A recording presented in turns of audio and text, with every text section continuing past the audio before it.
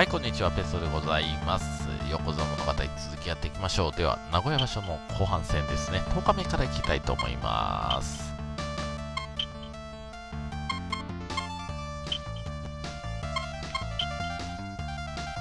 おお、片木原さんとか。さあ、ついにね、えー、薬師さんも上と当たるようになってきましたね。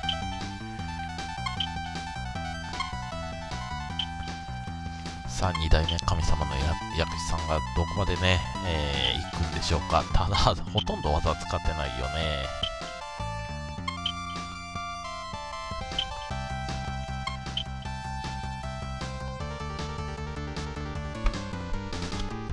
はい、富野浩二さん4勝5敗の東橋さんですね。柳のまんまさんは7勝2敗のおせちからさん。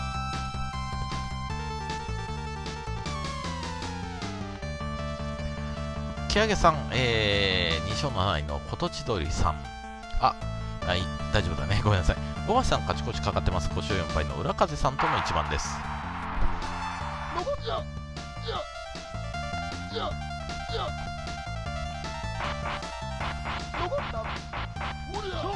押し倒し、5番さん勝ち越し。はい、六角さん小結びの立ち錦さんですね。お相手は6勝3敗。さあ、がっつり組んでいって、そのまま3つ、そしかしそこでまだ粘るのは立川立ち錦さんね。立川さんで落ちしまったけど。はい、六角さん勝ちました。三条さん7勝2敗の小結び、鳴門波さん。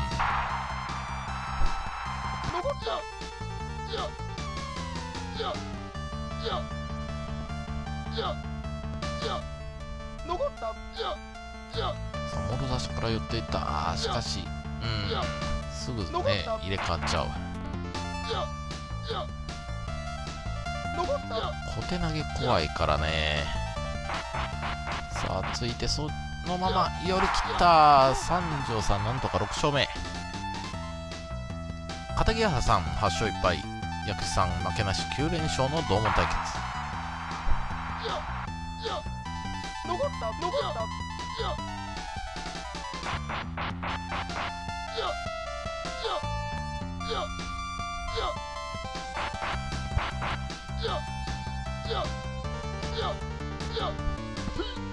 おお、続きも使ってくる。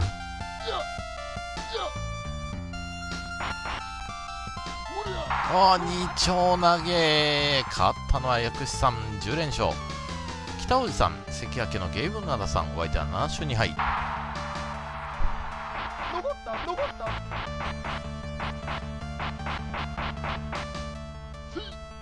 残った。いやいや残った。残った。追い込んだそのまま突き出し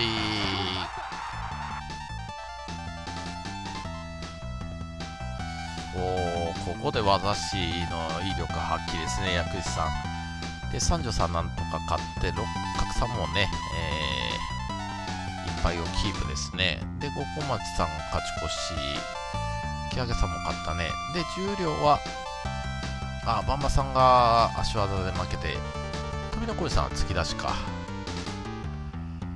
はい、10日目終了しました。北大路さん9勝1敗、六角さんも9勝1敗ね。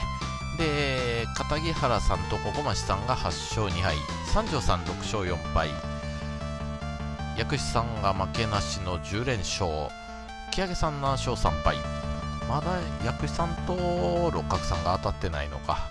で、富野浩二さん9勝1敗、柳のまんまさん5勝5敗というところですね。11日目いきます。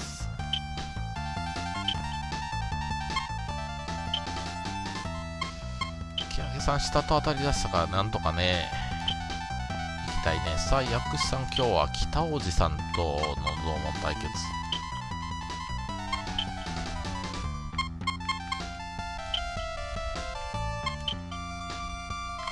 六角さんもこれ以上負けられない。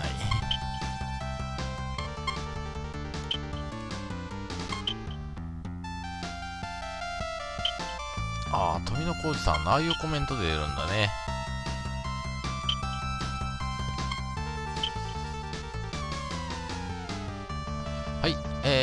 柳のママさん5勝5敗富野浩二さん9勝1敗の同門対決。月に威力があるということはねバンバさん上半身を鍛えないといけないけどこれは一方的富野浩二さんの勝ち。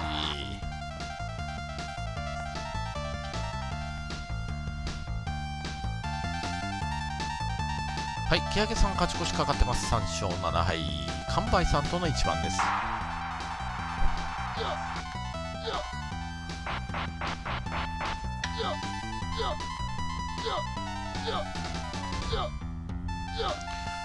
まあ簡単に追い込んで、うん、なんとか勝ち越してくれましたね。五コマシさん、4勝6敗、正気さん、これはパスします。六角さん、7勝3敗、小結、鳴門波さんとの一番です。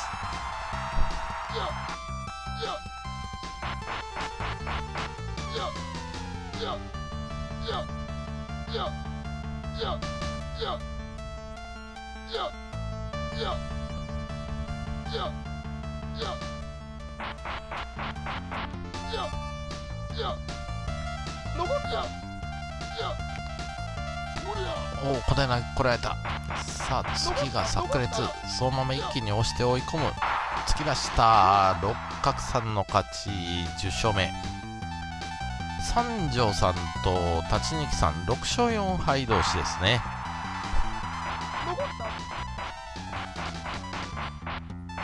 おお、一気につく。そのまま行きたいところだけで危ない。押し出した。三条さん、勝ち越しリーチ。片木原さん、関明のゲイブナダさん、お相手は7勝3敗。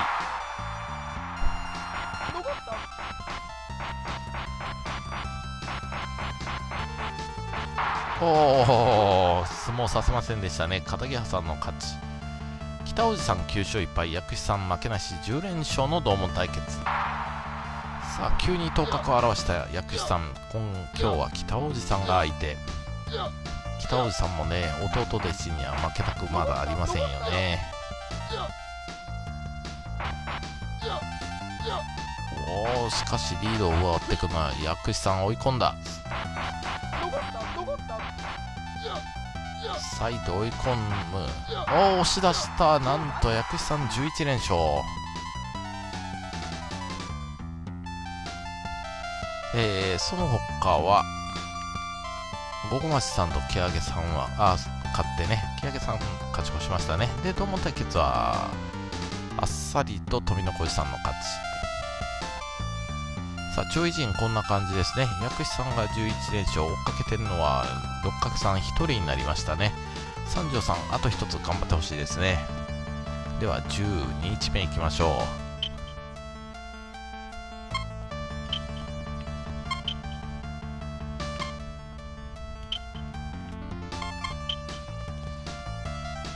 こで来たとね六角さんと薬師さんのライバル対決。といってもね2つ上なんですよね。六角さんの方がね年齢的には。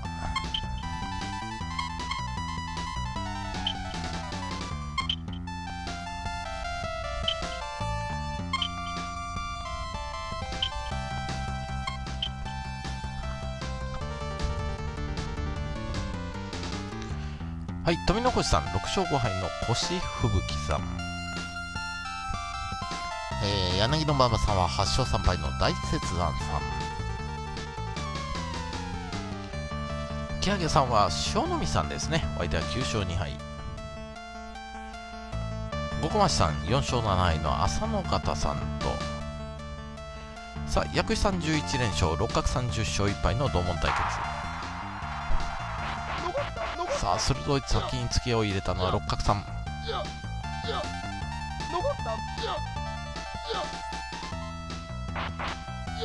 追い込んだのは六角さん。おお薬師さん押し返す。猫だまし動じない。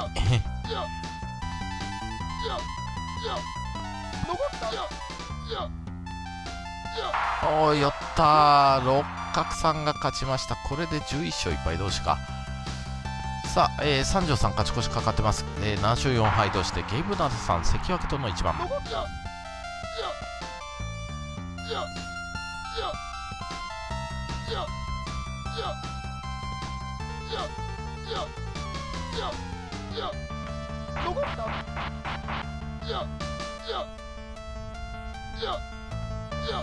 三条さんが押されてる。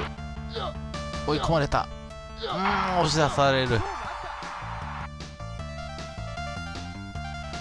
片桐さん、えー、小結立ち錦さんですね。お相手は6勝5敗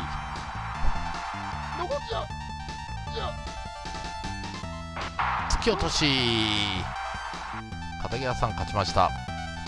北大路さん9勝2敗、えー、鳴門波さん7勝4敗ですね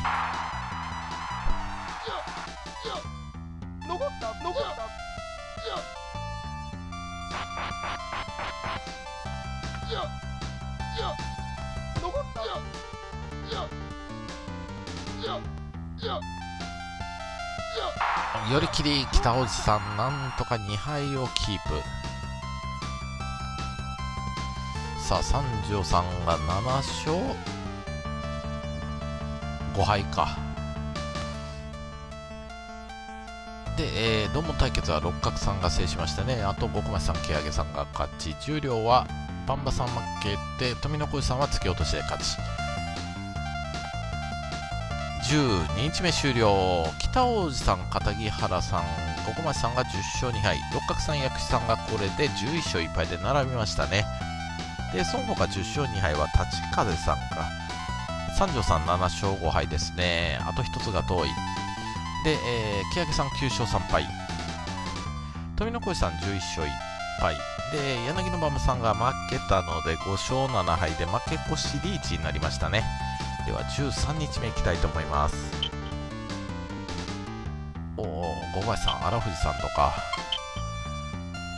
欅さんは下と当たるからラッキー。あ薬師さんは小結同士ですね。さあ横綱同士の対決が出てきましたね。六角さんが片木原さんか。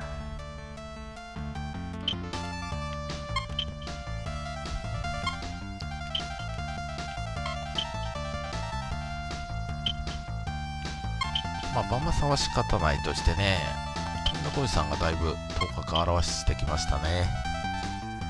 はい、柳の馬場さん巻き越しかかってます。12連勝中のオグリン魂さんとですね。おー、上手投げか。強いなはい、富野浩二さんと綾波さん、11勝1敗同士ですね。これはパスします。い、木上さんは3勝9敗の東崎森さん。薬師さんは6勝6敗の立ち錦さんとですね、これは三役同士なんでちょっと見ましょうか。こりゃ。あ、ごめんなさいね。ちょっと 探し物をしてて、カサカサしてましたけど。薬師さん勝ちましたね。はい、えー、五小町さん9勝3敗の大関荒藤さんとですね、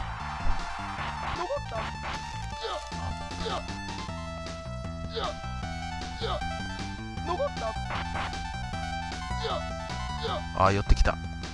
残った残った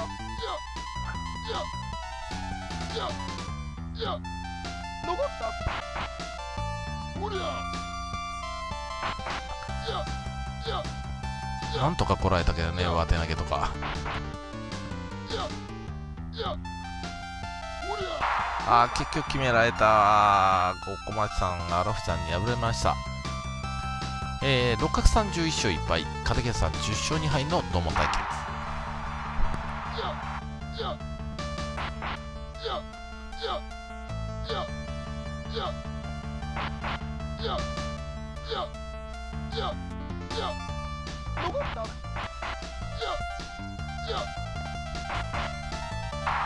おお繰り出しか片桐原さんの勝ちさあ三条さん7勝5敗北内さん10勝2敗の同門対決。これは三条さんきつくなってきた。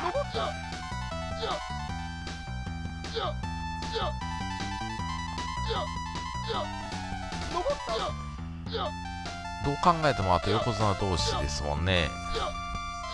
明日が六角さんかなもしかしたら。おおお三条さん勝ち越し。忖度。これでまた薬師さんが一歩リードになりましたね。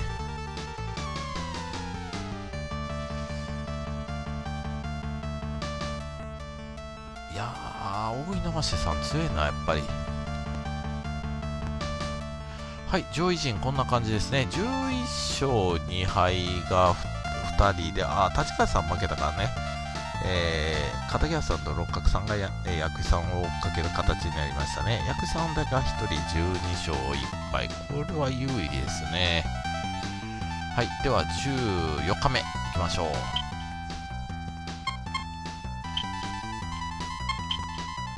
六角さん、けねせっかく薬師さんとの直接対決制したのに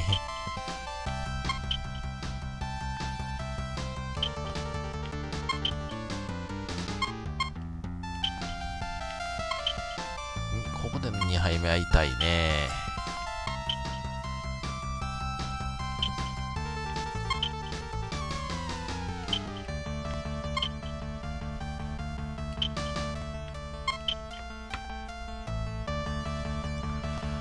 はい、えー、柳のママさんは神奈川さんですね。7勝6敗小屋パスします。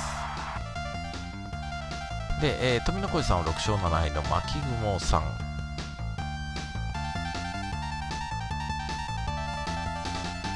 き上げさん7勝6敗の不破の国さん。薬師さんは小結同士の一番になりましたね。鳴門波さん8勝5敗がお相手。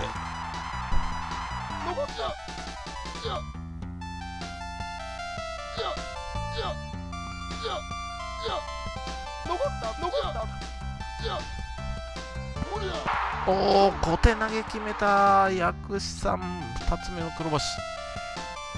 五小町さん、立風さん、10勝3敗同士の一番になりました。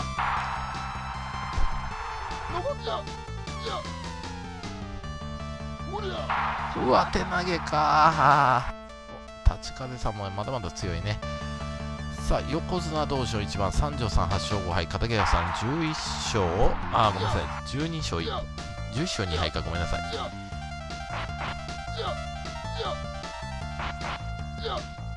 おお三条さんが追い込んだ。片桐さんが突き返していく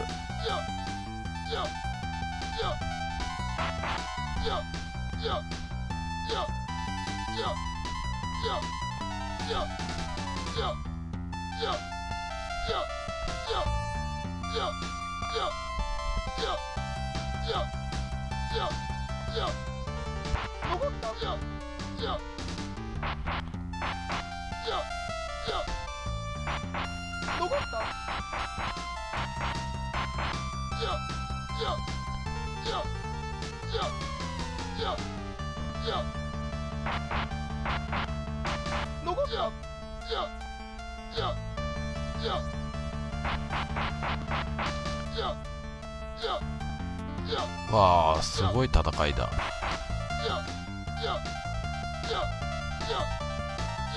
おお押し出した。三条さんやる。はい六角さん。11勝2敗北内さん10勝3敗の同門対決。さあ六角さんも負けれない。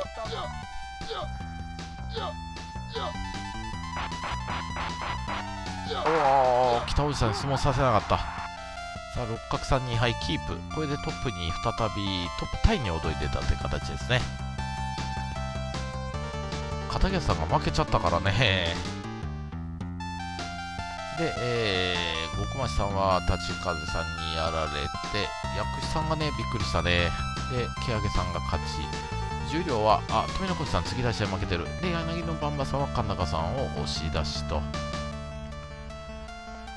14日目終了しました。北大路さん10勝4敗か。結構 4, 4つも負けてきたんだね。で片桐さん11勝3敗。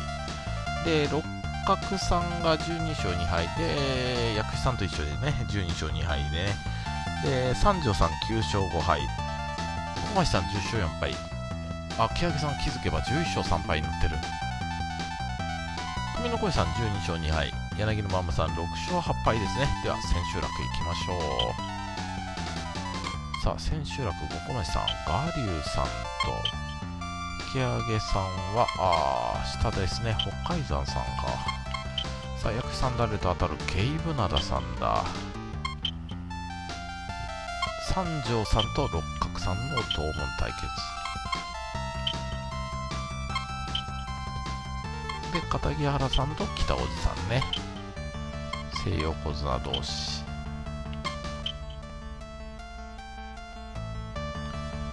あや柳のばんまさんこれ時司さんでいいのかな？お相手はね。で富野浩さんが稲葉城さん。はい柳のばんまさん1勝13敗の時司さん。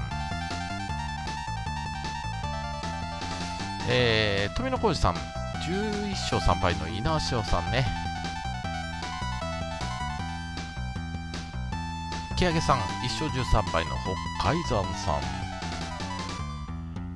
薬師さん9勝5敗の関脇ゲイブナダさんとの一番。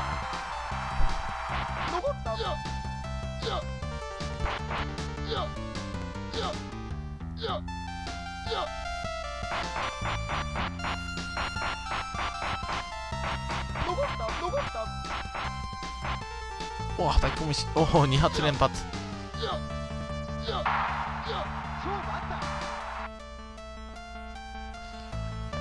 さあ小橋さん、えー、9勝5敗の大関ガリュウさんガリュウさんも5つ負けてるんですね。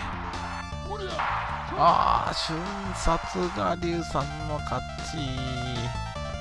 さあ六角さん12勝2敗。三条さん9勝5敗の同門対決。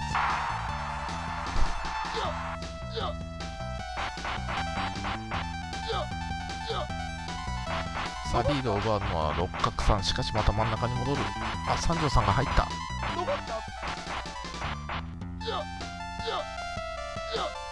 お六角さんの惜し。い追い込んだ。押し出し六角さんの勝ち。北おじさん10勝4敗片桐さん11勝3敗の同門対決。結びの一番ですね。ごめんなさい。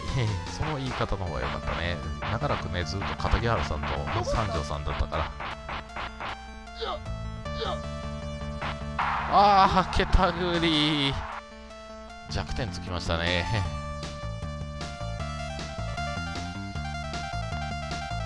木上さんも最後勝ってますね。で、えー、富野浩二さんが勝ってあバンバさんもね勝ってますね。はい、名古屋場所、えー、完全な終了ではないですけどね、優勝決定戦がこの後ありますんでね、えー、一応星取り表だけときましょうか。北大路さん10勝5敗、片木さん12勝3敗、三条さん9勝6敗、六角さん13勝2敗、五小町さん10勝5敗、薬師さん13勝2敗、木上さん12勝3敗。で、えー、富野越さん13勝2敗、柳のママさん7勝8敗でしたね。では優勝決定戦六角さん対薬師さんを見ましょう残った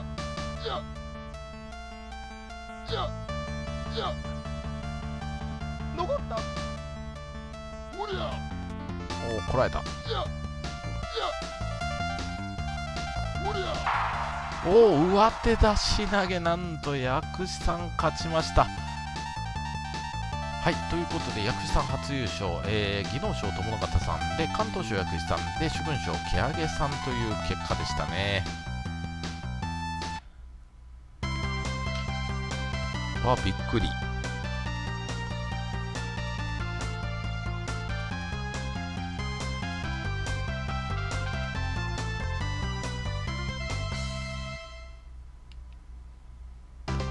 お六角さん横綱昇進した。びっくりした。いけるんだ。タイミングがようわからんけど。で沼砂田さんが引退ね。はいお疲れ様でした。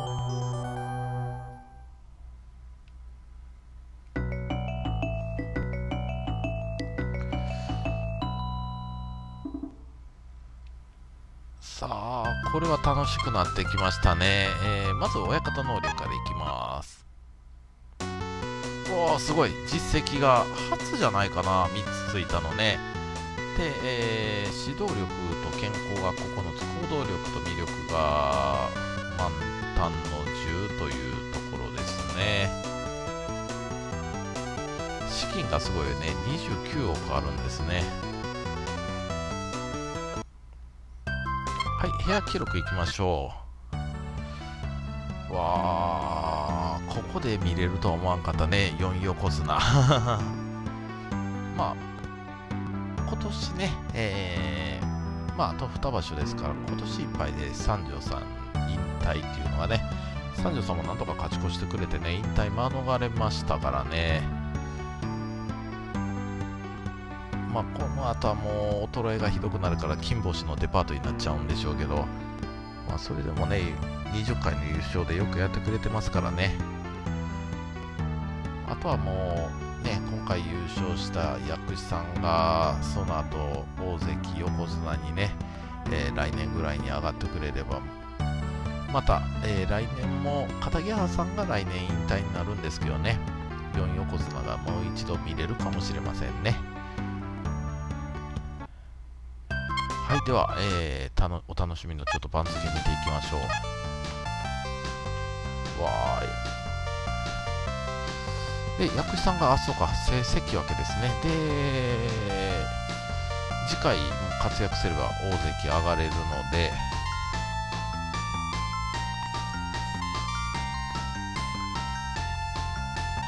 であとは横綱候補ね、富野浩二さんが、あ、重量ヒットになりましたね。柳のママさん、あ、なんとか残りましたね、重量。あ重量の 8枚目に。お分かりでしょうか？伊達の花さんが。三度転生してこられました。あとはいないかな？見落としてないよね。またね。まあ3横綱キープしてれば伊達の原さんすぐね上がってきたとしても消せますからね。そういう言い方しちゃダメよね。まあでもそんな感じでいけると思いますんで4横綱3関脇で、えー、次の秋場所か。秋場所の方ねやっていく形になると思いますえーと、ちなみにね、三条さんの記録はこんな感じです。まあ、ね、大体8勝7敗、9勝6敗、1手10勝、11勝だけど、まあ、よく勝てましたよね、今回ね、9勝も。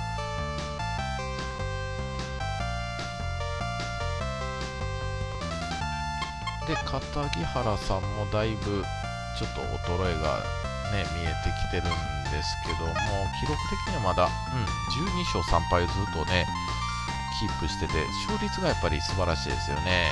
勝率王ですよね、8割2分4厘。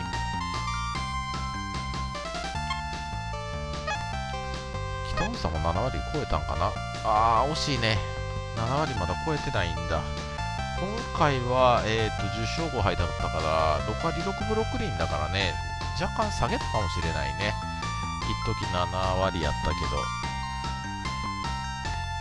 まあちょっと横綱行ってから、まだ衰えはね、始まってないんで、あと 1, 年と、今場所、来場所ありますから、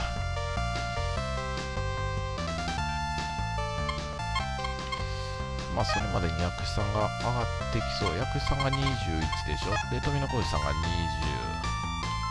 20。で、柳の馬場さん18なんですよね。で、来年、えー、っと、どうしようかな。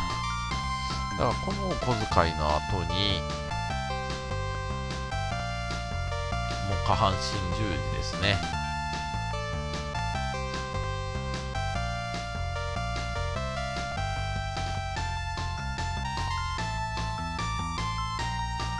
まあ、そんなに技使う人じゃないんで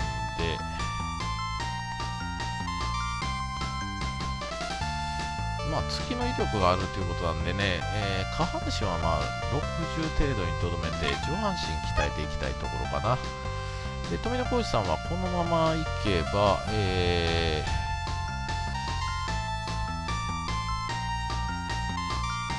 36のもううん60か70ぐらいまで持っていけるんで次の小遣いラストですね。でその後ちょっと判断力を上がりにくい状態の中で、えー、99まで持っていきたいという感じかな。はい。というところで、えー、目処をつけたところで今回は終わりにしたいと思います。ご視聴ありがとうございました。それではさよなら。